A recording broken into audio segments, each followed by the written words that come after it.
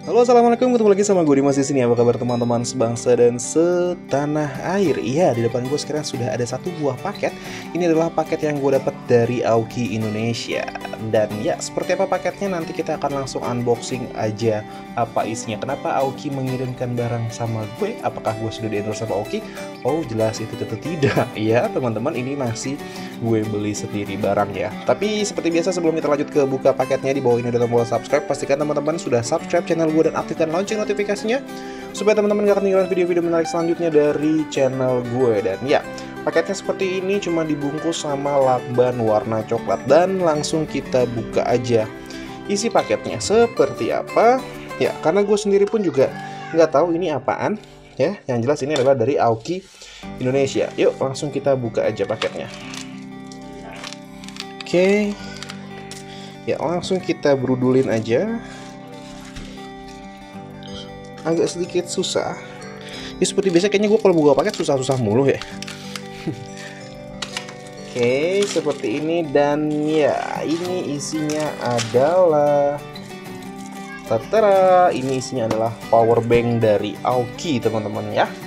Ini isinya power bank dari Aoki. Seperti apa power banknya langsung kita lihat.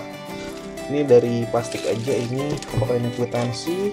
Oke ini kita singkirkan saja. Dan ini adalah power bank dari Aoki ya. Di depan boxnya sini terlihat Aoki garansi 2 tahun dan dari PT GIT ya sama seperti si TWS yang kemarin gua buka. Dari sisi sebelah kanan boxnya di sini tertulis ada stiker Aoki dan ada barcode-nya yang bisa kita pakai atau kita bisa gunakan untuk mengecek apakah Aoki ini garansi resmi Indonesia atau bukan. Terus kemudian di sini ada spesifikasinya kayak dia sudah Qualcomm quick charge ya dan ada beberapa spesifikasi lainnya. Terus kemudian di bagian belakangnya di sini ada full charge your flagship smartphone at least two times. Jadi uh, dia sudah bisa mengecas flagship smartphone kita paling tidak adalah dua kali. Terus kemudian USB USB-C is the future proof berarti dia sudah ada USB-C-nya dan sudah ada Qualcomm Quick Charge 3.0 terus kemudian under USB power delivery terus ada di sini long press the power button to go into LCCM low current charging dan bla bla bla dan di sini ada stikernya lagi dan namanya di sini adalah power bank Aoki PB XD12 red. Ya ini warnanya merah dan sepertinya warnanya merah. Merahnya itu merah marun ya teman-teman ya. Oke langsung kita buka aja. Eh tapi kayaknya ini bisa diintip deh nah ya dia bisa diintip di sini. Dia bisa langsung ngecas si iPad dan iPhone terus kemudian juga di sini oh cuman ada gambar aja dan ini ada warna merah di sini ya 10.000 mAh. Power bank with quick charge 3.0 power de power delivery ya jadi dia sudah support power delivery juga teman-teman. Oke langsung kita buka dari atas sebelah sini aja kali ya. Oke. Terus kita buka di sini. Dia belum begitu kebuka ya. Sudah sebelah sininya juga. Ya oke. Okay. ini sudah cukup terbuka dan langsung kita buka aja. Di sini isinya seperti apa dan kita dapat apa aja ya teman-teman. Oke okay, kita langsung keluarin aja dan ya. Oke. Okay. oke. Ya ini kita dapat yang ini. Ini kita singkirkan dulu. Jadi kita dapat di sini adalah buku manual ya. Buku manualnya menggunakan bahasa Indonesia artinya ini adalah merupakan uh, eh, QC eh, QC Aoki Indonesia ya teman-teman ya, bukan barang impor seperti yang pernah ada yang gue bongkar juga atau pernah gue unboxing juga yaitu apa ya Aoki yang kemarin ya? Apa ya? Kok gue lupa sih?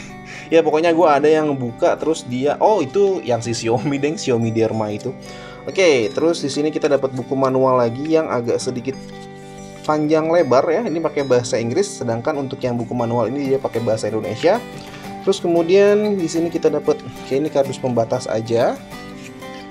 Terus kemudian kita dapat lagi power banknya, ya. Dan kita dapat charger. Nah ini kabel datanya dan kabel datanya sudah USB Type C ya teman-teman. Oke, jadi kita coba sedikit bahas mengenai si power banknya. Sebenarnya kalau untuk ngebahas power bank itu agak sedikit bingung ya, karena ya pada dasarnya power bank ya cuman gitu-gitu aja. Ya ini bentuknya seperti ini ya teman-teman. Dan ini mengingatkan gue sama power banknya Asus yang dulu gue pernah punya. Dan ada juga power banknya dari Xiaomi yang bentuknya kayak gini ya. Di sini ada tertulis uh, Aoki. Entah mungkin kelihatan atau enggak tapi di sini ada tulisan Aoki. Terus di sini ada LED-nya oke warna hijau ada empat buah terus di bagian atas sebelah sini ada tombol powernya terus ada port micro USB dan ada port USB Type C dan ada port USB Type A ya Terus di bawah sini dia tertulis ada 10.000 mAh, mungkin kelihatan di sini dan ada stiker dari si GIT-nya. Oke, kayaknya kita langsung coba tes aja untuk power bank ini ke smartphone yang gue punya di sini. Ada Samsung S10 Samsung S10 ini dia sudah support uh, power charge, oh, bukan power charge, support adaptive fast charging ya teman-teman. Apakah si power bank ini sudah support? Kalau misalnya memang sudah support, artinya nanti keluar pengisian daya cepat. Oke, ini kita colokin di sini aja, dan kita colok ini lagi di sini. Oke, dia mengecas dan kita akan lihat di sini. Oke, pengisian daya cepat 31 menit hingga penuh. Berarti artinya si power bank ini support untuk fast chargingnya Samsung. Sedangkan untuk yang P30 yang gue punya, gue belum pernah cobain ya. Dan gue sekarang juga nggak bisa cobain karena P30-nya gue pakai untuk ngerekam video sekarang ya teman-teman dan untuk pengecasannya dia sendiri dia sudah uh, mendukung quick charge juga yang artinya dia bisa uh, penuh dalam waktu sekitar kurang lebih 3 jam aja kalau misal kita pakai charger dengan kapasitas yang 2 ampere dan sudah support quick charge gitu ya teman-teman. Dan menurut gue sendiri desainnya dari power bank ini uh, oke okay, compact enak dipakai ya enak dipegang dan enak dibawa karena dia tidak terlalu besar. Kalau misalnya kita bandingkan dengan kartu apa ya kartu BPJS nih gue bandingkan dengan kartu kredit lah ya gue bandingkan dengan kartu kredit kurang lebih besarnya hampir sama. Ya teman-teman kurang lebih besarnya hampir sama nih oke.